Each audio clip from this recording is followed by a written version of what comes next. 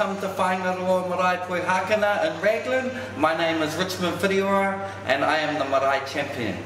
Before we got Para Kore, what we used to do, and with a lot of marae, is just use black rubbish bags and we ended up with lots of rubbish bags outside.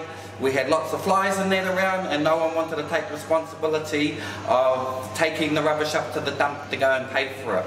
So now that Para Kore has come into process here, into action, how it actually works now is, and it's so easy and it's just real cool for our ringawera, is that when we're working at the bench and doing dishes and that, and we're emptying our bottles, milk bottles, glasses, um, squashing up our spaghetti cans and that, we just have separate bins. Over here we have our glass bin, our can bin, and our plastic bins.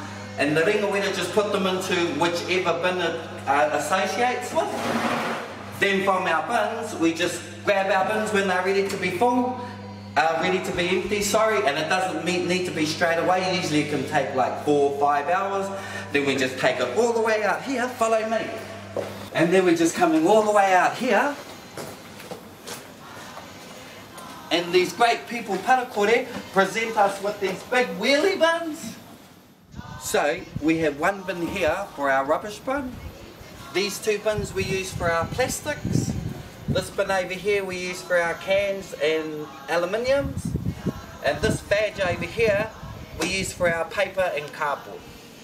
So we go from here to here and the cans that comes from this bin goes into the bin here which is for cans and we just tip in there. Para Kore has been in use and we've been using the system, we don't have the usage, we don't have those bad smells that we used to get, we don't have the flies that hang around, or the ringawera are happy, they don't mind sitting at the back of the kitchen now and just laxing out because they're not doing this or this or this. And yeah, thanks Para Kore, you're the best. Last but not least, if you're probably wondering what about the kai or the scraps, the food scraps, what happens to those? Well, we're lucky in Raglan, we have landowners that have pigs, and we use the pig system, and all that kind of kai goes into our pig buckets. And so from there, once it's all full and it's ready to go, all we do is get that good thing called the cell phone and we text up to the whānau who's got the pigs on the land to come and pick up their big pin, their pig bins.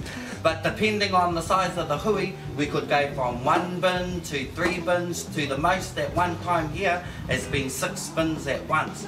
But if you haven't got a pig bin system, there's other ways that Para Kore can teach you how to do that. So if you want to know more, you got to get a hold of Para Kore.